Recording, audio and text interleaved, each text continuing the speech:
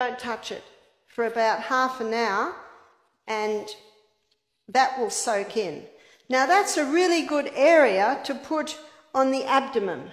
Now if castor oil is applied to the abdomen, it will heal any problems in the abdomen. So what have we got in abdomen? For a woman, um, there's the uterus. So that will penetrate and break up fibroids in the uterus. That will penetrate and break up cysts on the ovaries. That will penetrate and soften the colon if the person has constipation. That will penetrate into the colon and heal the colon if the, if the person has bad diarrhea. Remember Psalm 104, verse 14? God gave herbs for the service of man. So whether it's diarrhea, irritable bowel, or whether it's constipation, the castor will go in and it will penetrate very, very deep and it causes a cleansing and a healing in that area. It's a remarkable herb. So you can use it to break up um, gallstones. So you would put it, say, on the liver area under the right rib.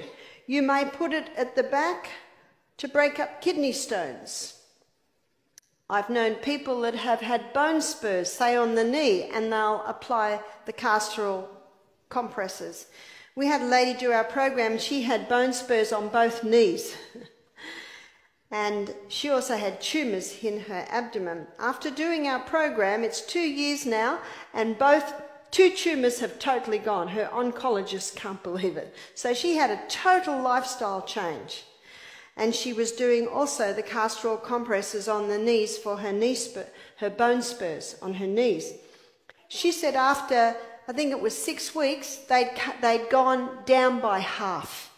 She said she forgot to do it, and she noticed a, a month later they were gone. now last night we looked at the acid alkaline balance, and it's a high acid diet which causes these um, deposits of calcium on the bones. So she also changed her diet so that she was not having a high acid diet anymore. So the castor oil, I've also seen it help people with brain tumours. And what they do is they put it on the area. Remember, it'll penetrate very, very deep, break up lumps, bumps, congestions, adhesions. So if you've got a sore knee and you think, well, do I use the castor oil? Do I use the ginger? Or I do use the potato?